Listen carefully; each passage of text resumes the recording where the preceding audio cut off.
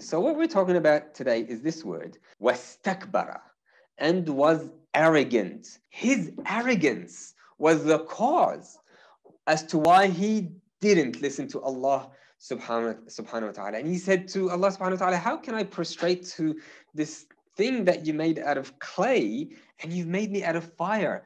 It was this arrogance. Okay, so it's an attitude of superiority you feel superior to others in an overbearing manner. So that's the definition, the dictionary definition. Or in presumptuous claims or assumptions. I think I am better than you. Why aren't you respecting me? Why aren't you sitting below me? Why aren't you kissing my hands? Why are you even talking to me? Do you know who I am? examples of being arrogant. So you might be bossy, you might be bossing people around.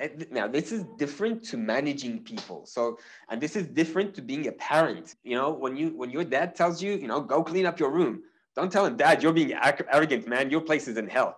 That's not what we're talking about. Your father is the rabbik, and he's giving, he's um, he's doing tarbiyah, he's raising you, he's teaching you how to be clean. You know, and Allah iman. So um, you know, we got this chick that's now grown up into this rooster, and you can see, you know, they're swelling their chest out and they're walking like this, and they've got this um, arf, I don't know what they call it in English, but they've got this red thing on top of their head, and they're just like, mm, and they walk like this. That's mutakabbir.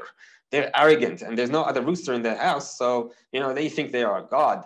You know, Pharaoh, for example, when Nabi Musa alayhi salam, he went to him um, and he said, I will show you the signs so that you can fear Allah. أبى واستكبر وكان من الكافر. No, no, that's not, that's Satan. قال أنا ربكم الأعلى. Right? He said, I am your Lord. What are you talking about? I am your God. You should be prostrating to me. Who's this other God you're talking about? Musa, I raised you here. What are you doing? You should be bowing your head to me. That's arrogance. Imam Ali alayhi salam, he has this really nice saying.